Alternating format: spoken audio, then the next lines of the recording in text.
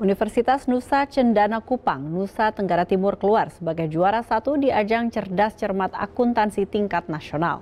Universitas Nusa Cendana Kupang meraih juara usai mengalahkan peserta dari Universitas Budi Luhur Jakarta dan Universitas Flores Nusa Tenggara Timur di babak final. Universitas Nusa Cendana Kupang berhasil meraih gelar juara dalam kegiatan cerdas cermat akuntansi tingkat nasional. Dalam ajang cerdas cermat yang digelar pada 10 November ini, Universitas Nusa Cendana Kupang berhasil meraih juara satu, usai mengalahkan peserta dari Universitas Budi Luhur Jakarta dan Universitas Flores Nusa Tenggara Timur di babak final. Gelar juara satu ini diraih oleh tim Accounting Light Universitas Nusa Cendana Kupang yang berisikan Maria Devina Gratia Kima, Richard Ketty, dan Agnes Yuliana Nogo Udak. Tim ini mengaku minim persiapan, namun tak memupuskan harapan mereka untuk meraih gelar juara.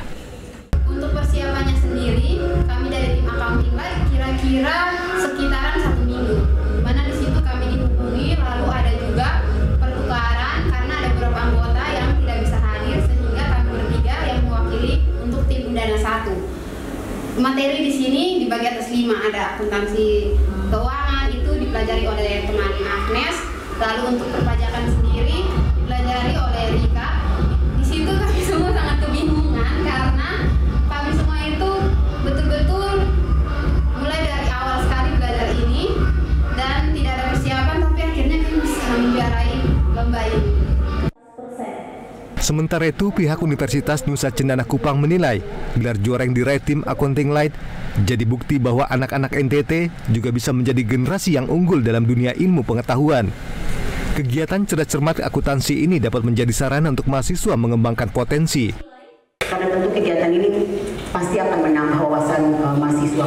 Kegiatan-kegiatan dalam kelas itu sudah terbiasa, mahasiswa sudah biasa. Tapi kegiatan-kegiatan di luar kampus seperti uh, di luar kelas, gitu ya, seminar, diskusi publik, lomba, ini kan kegiatan-kegiatan yang sifatnya implementatif, yang kemudian mengasah mahasiswa. Dan tentu ini menjadi media yang sangat baik sekali untuk mahasiswa kita, terutama uh, teman-teman di akuntansi untuk bisa apa, mengasah kemampuan. Ini kan lomba ya.